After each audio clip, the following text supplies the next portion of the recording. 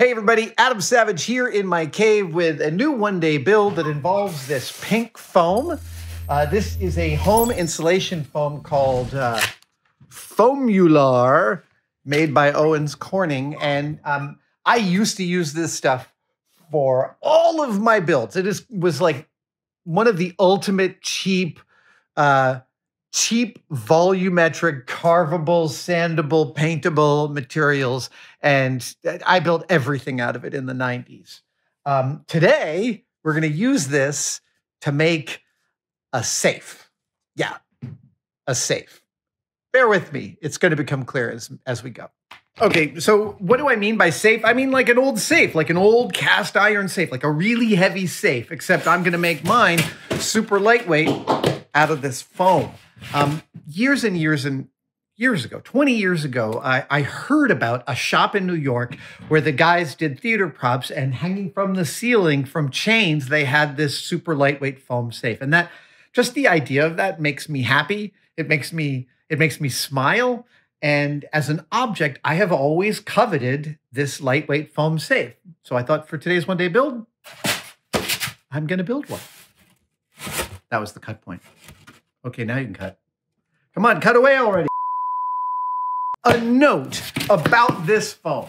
Um, Owens Corning has made this stuff for many years. Uh, and again, like I said, back in the 90s, I used it for everything. You could buy it at any hardware store. It came two inches thick by like six or eight feet tall and like two feet wide. It was such a cheap amount of volume you could purchase to modify and make into any prop that you wanted. Um, Sadly, this is no longer the case. This is the only form factor I could find it in, one inch thick uh, and roughly two by two feet. Um, and it was not cheap. Uh, in fact, this stack here, which is only, uh, it's basically a cube of foam, two by two by two feet, and I paid 160 bucks for it, which is like, I'm the sucker, I get that. But as I set out to make a foam safe, this was what I got. And the perfect being the enemy of the good, I decided to proceed anyway. But this build would work with any foam you wanted to use expanded polystyrene, rigid urethane foam. Hell, you could build this out of soft urethane foam if you felt like it, but you don't have to. Today, we're going to use Owen Corning's home insulation foam.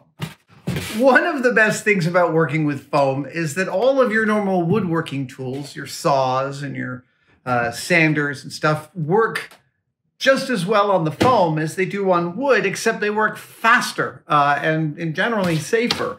Um, I need to figure out the form factor of my safe first and foremost, and it's going to be it's going to be a small one. It's it's not going to be much bigger in its in any of its dimensions than the actual dimension of this foam. But I'm going to start by drawing it up, and then we'll start figuring out the sizes of everything. Is that the way I want to do this? Actually, I think I'm not going to do that as a plan. I think I'm going to start. Hmm. Okay, I like starting with the most difficult part of a build first. And the most difficult part of this particular build is the door. Making the door look right, feel right, and be right. So I'm going to build the door first. Yeah, I'm going to build the door first, and then I'm going to build the safe around the door. I think that's how I want to do this. Okay. The other thing about this video that you should know is that it's going to be a speed build. I'm building this as if I had to do this for a theater. and that means I'm going to use all these non-exotic materials like PVC pipe and a piece of wooden a wooden dowel that was made for a cane. Um, yeah, this is going to be all about as fast, quick, dirty, and cheap as I would be doing if I was working for a local community theater. The first thing I believe I'm going to mock up here are the hinges. Yeah, the hinges is definitely the very first thing. So, uh, yeah, let's get started.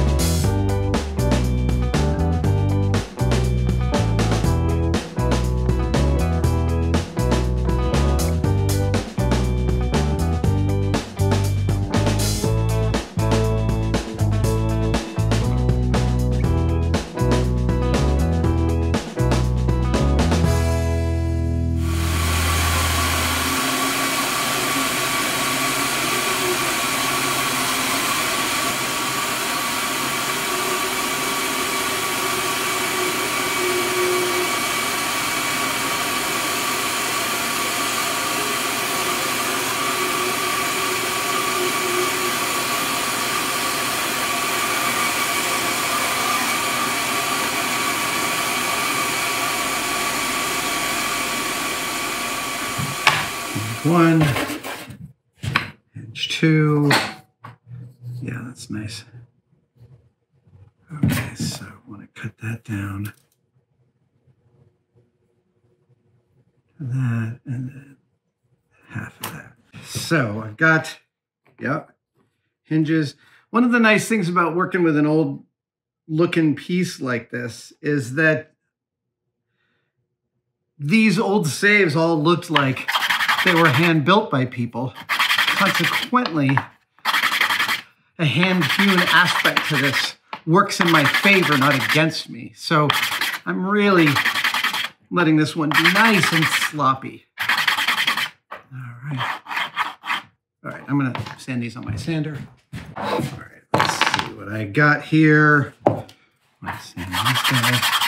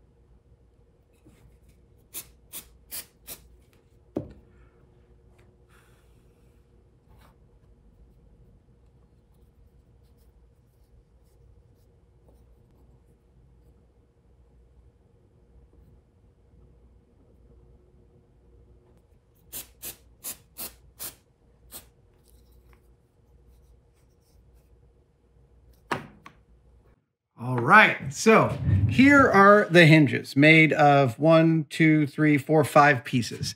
I have two pieces of MDF that I used a Forstner bit to cut a half round in by sandwiching them together.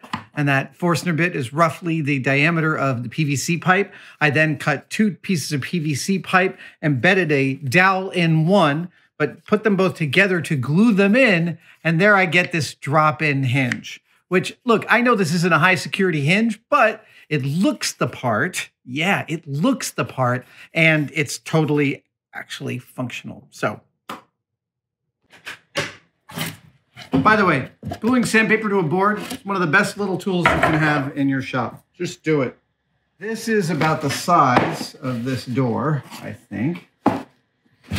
And so I think, here.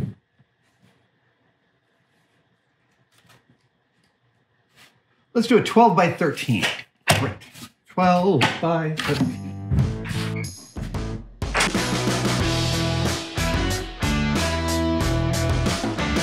So uh, I've got the, this is the door. Uh, it's going to be a little thicker even than this, but um, it's not, it, it can't have straight edges. It's got to have angled edges and it needs to have a little step, step edge as well. And I'm going to add all that. I've set my table saw blade to a 15 degree angle. And I'm going to take off the sides of this. And then I have to saw some of this stuff to match that angle so I can assemble the body, the face of this. So I'm going to assemble basically, I'm going to start with the door. Then I'm going to build the face of the safe around the door. This is the kind of thing that foam building allows you to do. I can kind of make this up as I go. Um, but first, I need to make these two pieces monolithic, and I'm going to do that using a bit of um, this headliner and carpet adhesive. This is like a spray glue. It's a spray rubber-based glue. Um, this is made by Permatex. I really like this stuff. I use it on the headliner on my Land Cruiser, and it has not failed years later. So that's net good.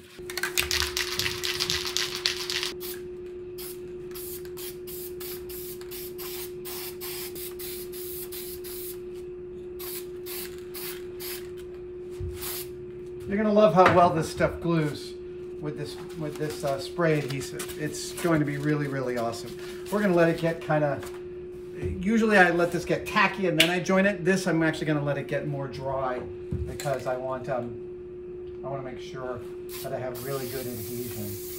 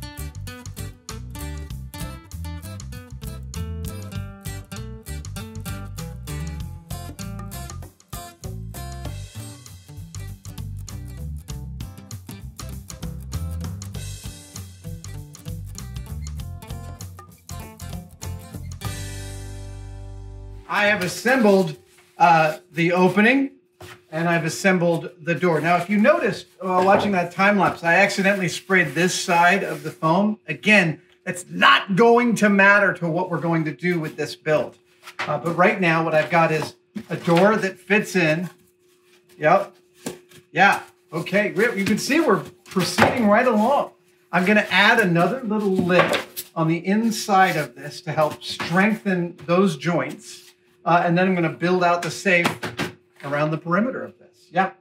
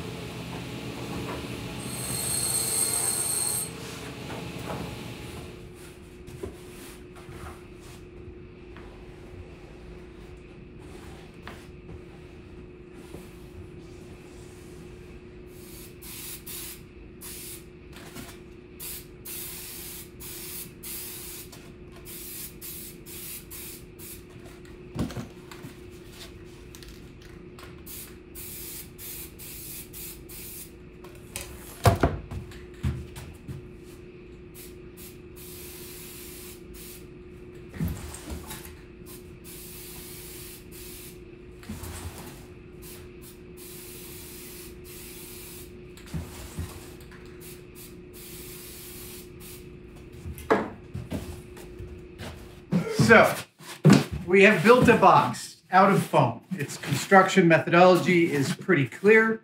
I've got a lovely little opening there and my door fits right in that opening. Oh, that is a very satisfying kind of moment. Uh-huh. Uh, and now it's incumbent on me to make this thing look like a safe rather than a bunch of foam blocks glued together. And I'm going to do that using an orbital sander with a heavy grit sandpaper. This is, uh, yeah, this is to tie this whole thing together. Then I've glued a couple of foam sheets for legs. I'll put those on. And then we get to the aestheticizing the painting, and that's where stuff gets really fun. But first, there's a whole bunch of sanding I'm to get a dust mask on.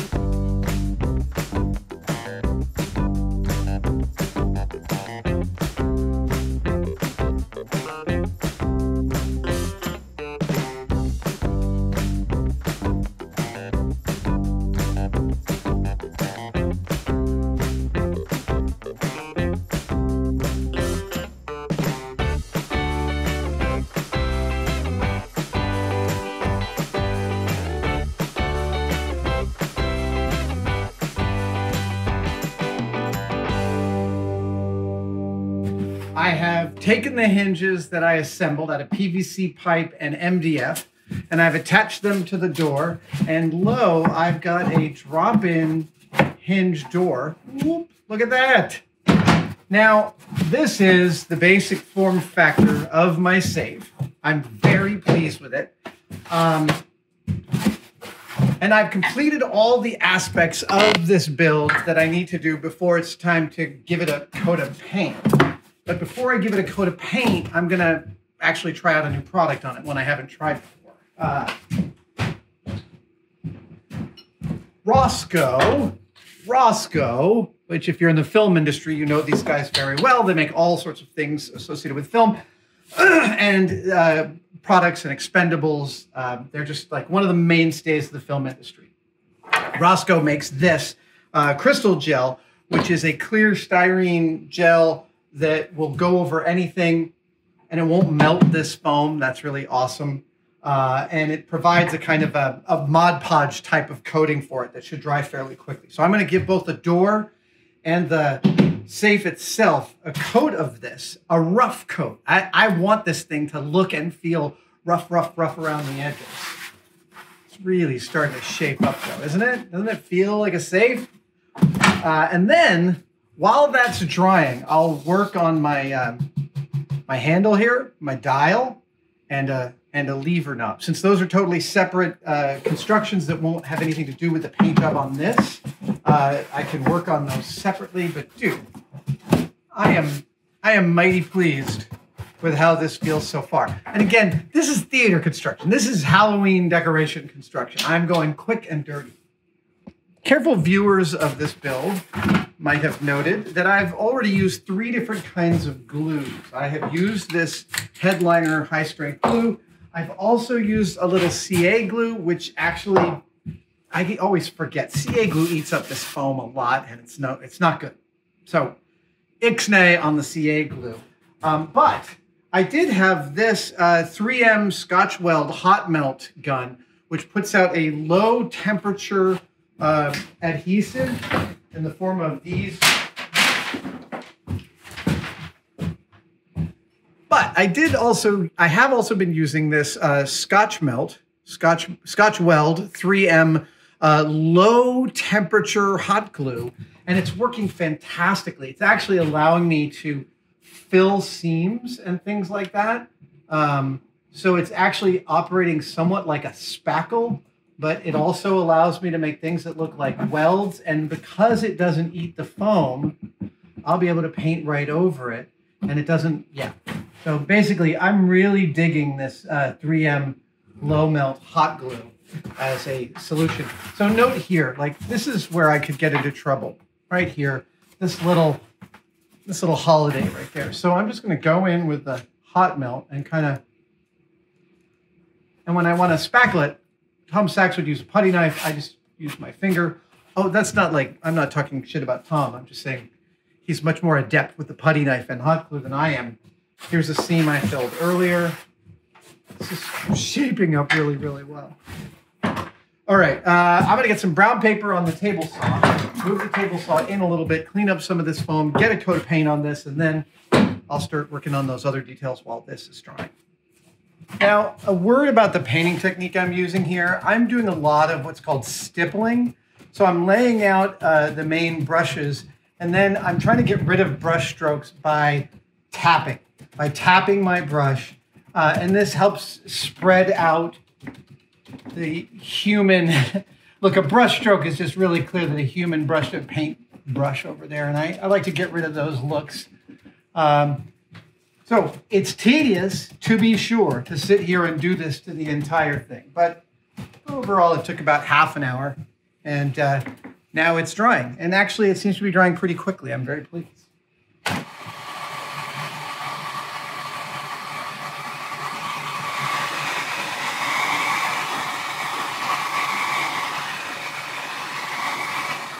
So you can see here where I'm running a blow dryer, it's getting more and more translucent, and that's how we know that this is drying.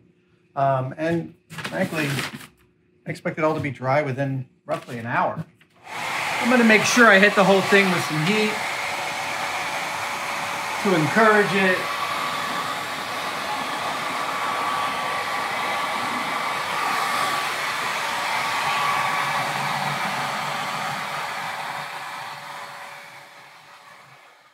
My uh, the safe is drying well. It's not bad, and I've just turned my dial, my safe dial, out of this, which is actually Instacast. It's a odorless white, um, fast curing urethane resin, uh, usually sold under the name Instacast or Fastcast or something like that. Um, it's funny uh, to get monolithic chunks of round stock to lathe um, when I was working for Jamie. It's expensive to keep going to get Delrin uh, and other other uh, industrial machining plastics. So we would take pieces of PVC pipe and pour Instacast in it. And then we would machine the blocks of Instacast we ended up with. Instacast is fabulous for machining. It does not dull your bits. Uh, the urethane resin, uh, it machines very. I have a little little tendril there. Ah, uh, the urethane resin machines really well. So it's a great low cost material for machining blanks. Um, and uh, little known fact, hold on.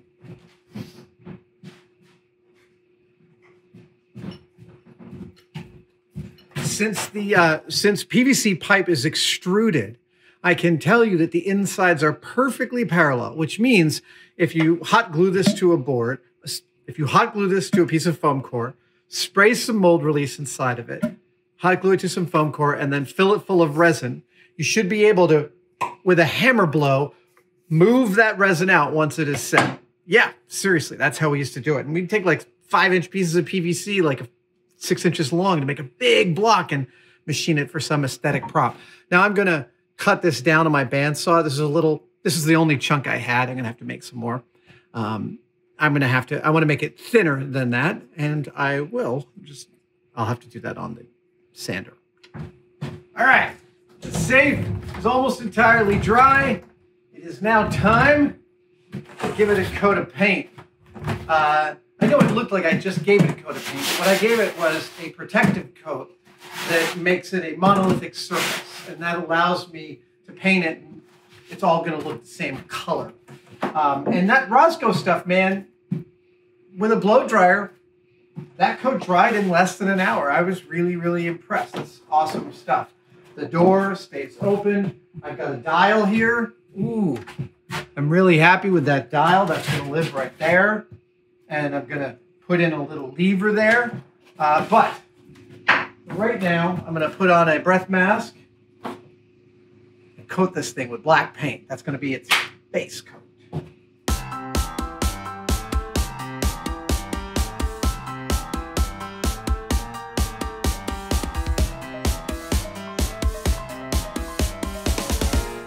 All right, so now we've got the black paint job on the safe, and it's coated in and out. It's great. If I had could do one thing over, I would have painted the inside before I put it inside the outside of the safe because it's hard to paint on the inside of stuff. that being said, um, I am now going to give this a kind of. Well, I think what you can see is that while it's visible, there are aspects to the monolithic nature of the paint job that makes it hard to see.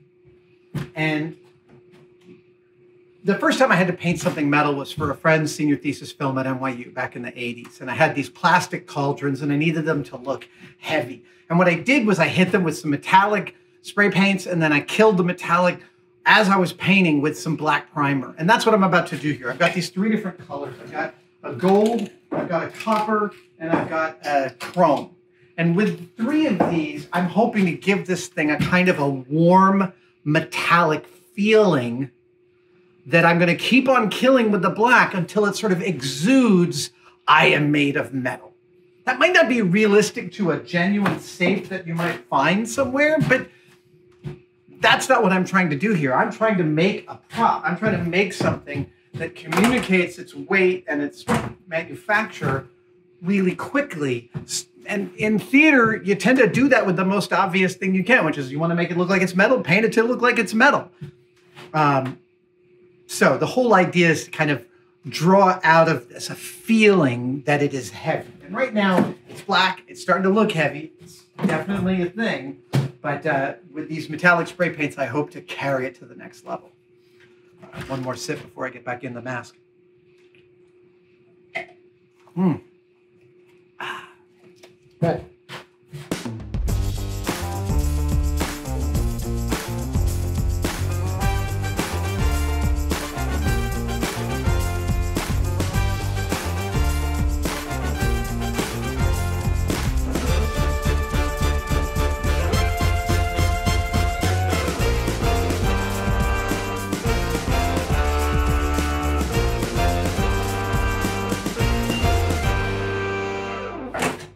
Along apace, and it's going well.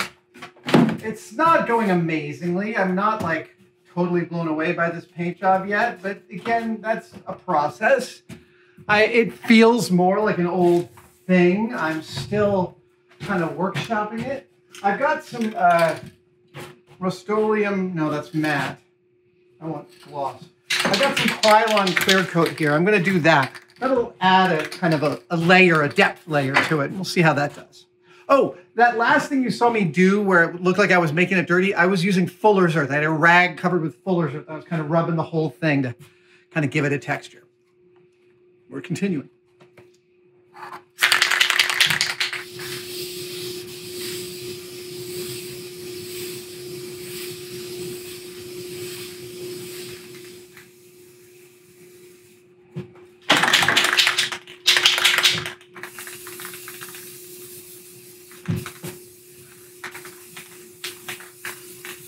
Okay.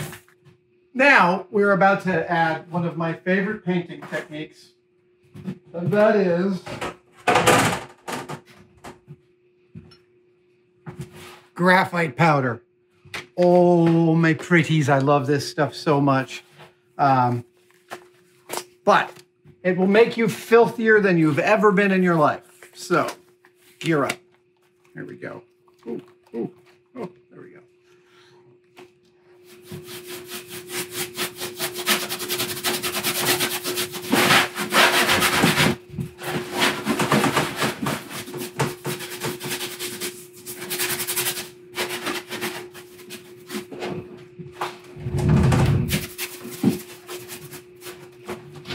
All right, now I'm kind of pleased with how it's looking. The tonality is really nice. It's not too matte, it's not too shiny.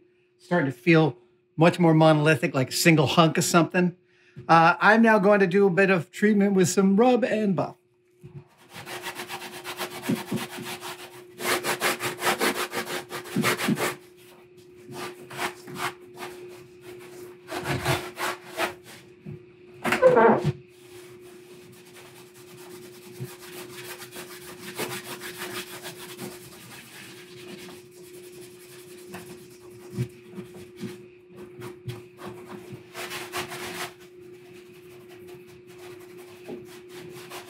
Have been making great progress all day. Uh, we're about four hours in, and I'm pretty pleased with how this looks. We're going to add a couple things right now to send this puppy home.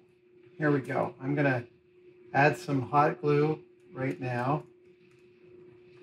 Come on, come on. Get our dial in there. And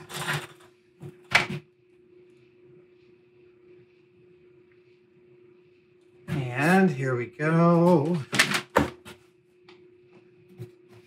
Oh yeah. Oh. Oh. yeah. So this is an end cap off of some drum kit I've had in a box full of material hardware. That's the dial I turned out of the urethane Instacast. This is an old file handle I had in a box full of file handles. And I don't know about you, but this feels pretty freaking authentic and safe like. Oh, wait, wait, wait.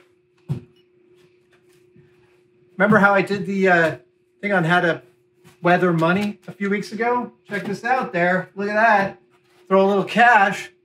Throw a little cash in our in our safe. Dude.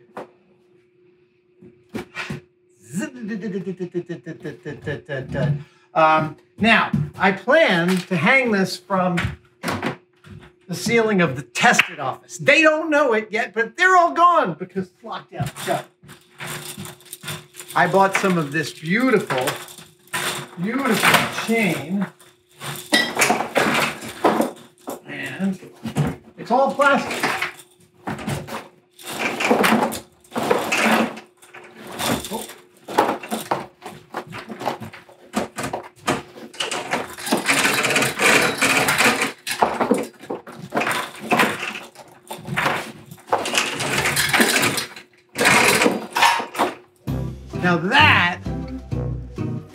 Me.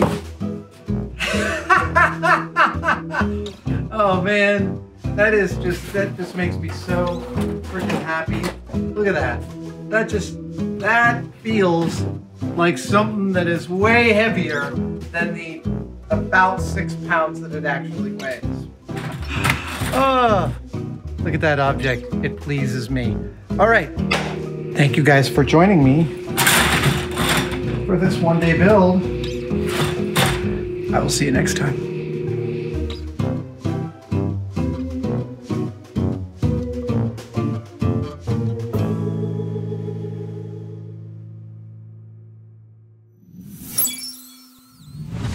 For watching that video. If there's a video equivalent of the Clean Plate Club, you're a member. Uh, if you want to support us, one of the best ways you can do it is going to our merch store and purchasing one of our beautiful new posters. This is my hand-drawn sketch of uh, my two toolboxes that I used when I was an active model maker at Industrial Light and Magic in the late 90s and the early aughts. There's also on the far left side of the poster a list of all of the tools I had in these toolboxes and I used them daily for almost a decade. Again, you can get your own version of this printed on a beautiful cardstock by following the links below.